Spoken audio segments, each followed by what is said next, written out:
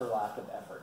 So, um, so going into the freshman, I'm going to start with Braden Fart because he's not here, um, so I can say anything that I want about him. Um, anyways, uh, so he's actually right now he's doing uh, something that he loves more than baseball, and that's working at a dairy farm. Um, I have trouble driving by a dairy farm.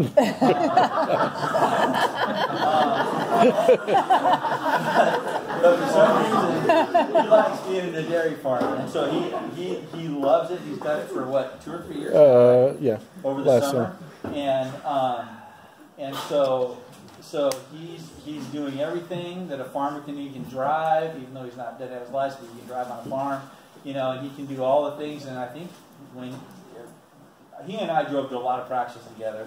He wants to be a farmer. He wants to own his own plot of land, and he's old school, and I think that's awesome. And so um, he kind of had a little bit more of a difficult year this year because he had a serious ankle injury, and there were many, many times that we were going to utilize him, particularly his bat, and use him as a pinch hitter, and we were unable to do so um, because he sprained his ankle, and then he kept on re-injuring it in a minor way.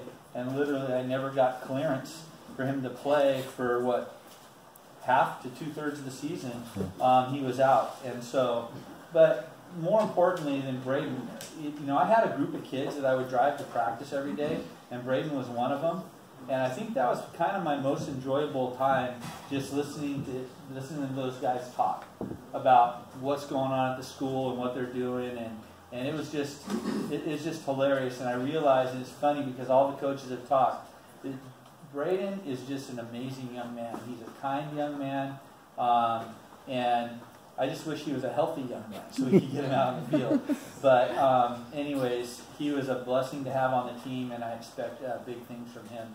He's a good hitter. He hit what three home runs last practice, and he ended the season on the on deck circle, which is kind of a bummer because we tried to we tried to get him into the game, and we tried to throw in a couple of pinch hitters at the tail end when our Southwest game. Who, by the way, ended up winning the CIF championship yesterday. Um, and uh, so, just to let you know, you guys were this close. Um, they beat Mount Carmel yesterday. And they jumped out early, then kind of let them back in the game, but then they held on to win. And so, um, but anyways, so that tells you guys how close you were to jumping into the CIF finals, just a game or two away. So, um, but anyways, they ended up beating Mount Carmel for the championship. So, um, so I'm going to go ahead and give out Braden stuff to you guys, just so you can have it, and I can work my way down the list. But I do want to show you this is the All Things Award that every player is going to get. It's just a little certificate with their picture on it, but every player uh, is going to get this. Um, and for me, it's the most important award, and I get to give out 17 of them this year, which is awesome.